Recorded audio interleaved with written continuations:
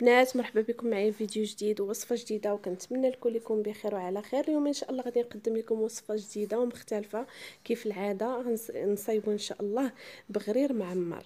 بقاو معايا باش نشوفوا آه الخطوات. عندي هنايا شوية الكفتة شوية البصلة شوية الفلفلة شوية القزبور والتوابل المعهودة اللي هي السكينشبير والخرقوم والملحة.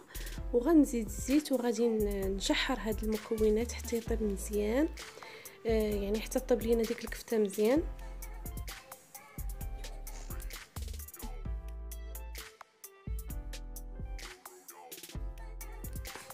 كنوجد كذلك لاصوص آه، طوماط اللي هي لاصوص اللي كنوجدو في البيتزا. كنحكو مطيشه وكنديرو لاصوص طوماط وشويه الملحه شوية ديال الزعتر شوية آه، الزيت. وكنشحر كاع هاد لي صوص لاصوص طوماط بوحدها ولا صوص ديال يعني الحشوة. آه، كما قلت لكم نذكركم الحشوه كنطيبوها مزيان حتى كطيب لينا الكفته مزيان. نكونوا وجدنا كذلك البغريرات ديالنا. آه البغرير راكم كلشي كيعرف كيفاش كنوجدوه. آه غير هو كل واحد كيوجد الحجم اللي بغا يعني القطر اللي بغا في البغريرة يكون صغير يكون كبير. أنا درت هنايا بغريرات متوسطين ما هما صغار بزاف ما هما كبار.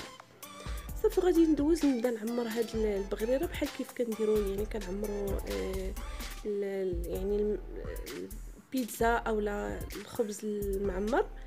كنحط البغريرة وكنحط فوق منها لاصوص ونزيد من فوق منها ديك الحشوة وشوية ديال الفرماج.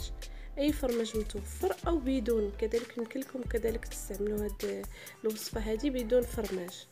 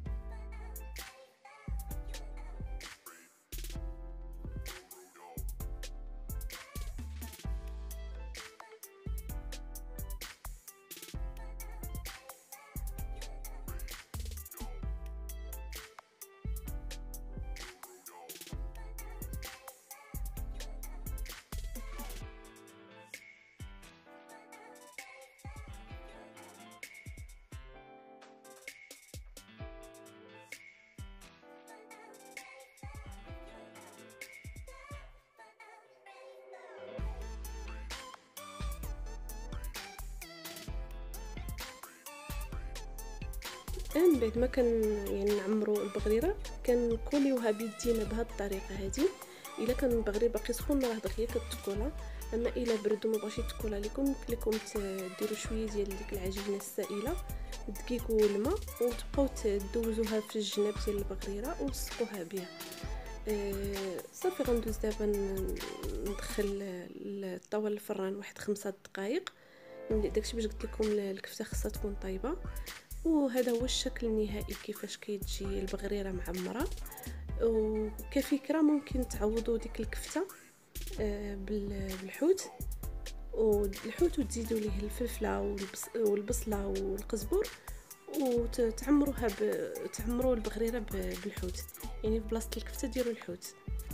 وكنتمنى الفكرة تعجبكم وما تنساوش تدخلوا القناة وديروا اشتراك وديروا تخليو تعليق باش تشاركوا في المسابقة. ومرحبا بكم في قناة Flavor and Taste